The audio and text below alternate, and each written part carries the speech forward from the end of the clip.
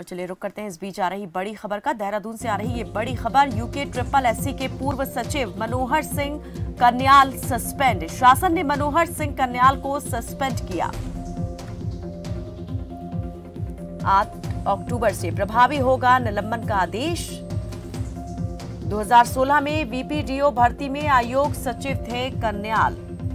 तीन दिन पहले गिरफ़्तार हुए थे Manohar Singh Kanyal. UK triple SC के पूर्व सचिव मनोहर सिंह कन्याल सस्पेंड हो चुके हैं और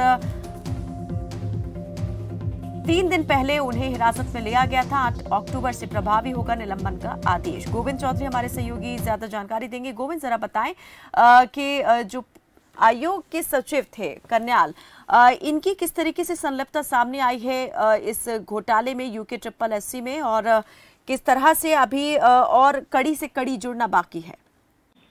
बिल्कुल कायनात आपको बता दूँ उत्तराखंड अधीनस्थ सेवा चयन आयोग के जो पूर्व सचिव और वर्तमान में जो है संयुक्त सेवा लेखा मनोहर सिंह कन्याल है उनको शासन ने सस्पेंड कर दिया है। निलंबन की जो हम्म। आदेश हैं उनकी जो 8 अक्टूबर को जो गिरफ्तारी हुई थी यह आदेश उससे प्रभावी होगा। आपको बता दूँ कि अधीनस्थ चयन आयोग की जो 2016 की बीपीडीओ भर्ती के दौरान एस एस कन्याल आयोग के में सचिव थे। इस भर्ती में ओ आर एस सीट से छेड़छाड़ की गई थी जिसके पुख्ता प्रमाण एसटीएफ के सामने आए थे। 2018 की बात करें तो विजिलेंस ने मुकदमा दर्ज कर लिया था जिसके बाद हाल ही में मुख्यमंत्री जो पुष्कर सिंह धामी हैं इस मामले को एसटीएफ के हवाले कर दिया था। भर्ती हम्म। घोटालों में पूछताछ के बाद रविवार शनिवार को एसटीएफ ने कत्याल को गिरफ़्तार किया था। अपर मुख्य सचिव राधा जो रतूड़ी है कल कन्याल को सस्पेंड करने का आदेश यहाँ पर जारी कर दिया है।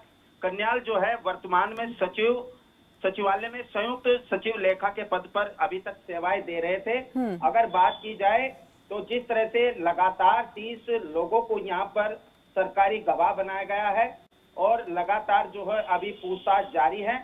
अगर बात करें तो उत्तराखंड अधीनस्थ सेवा चयन आयोग द्वारा जो 6 मार्च 2016 को ग्राम पंचायत विकास अधिकारी चयन परीक्षा कराई गई थी। हम्म। उक्त परीक्षा में 6 मार्च 2016 को समस्त तेरह जनपदों के जो 236 परीक्षा केंद्र थे इन परीक्षा केंद्रों पर यह संचालित की गई थी।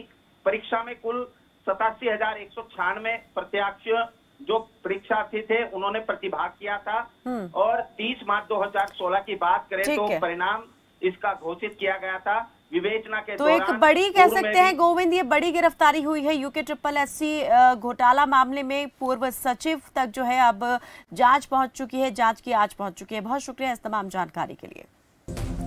तो शायद आठ अक्टूबर से प्रभावी होगा उनके निलंबन का आदेश और 2016 में बीपीटीओ भर्ती में आयोग सचिव थे कन्याल।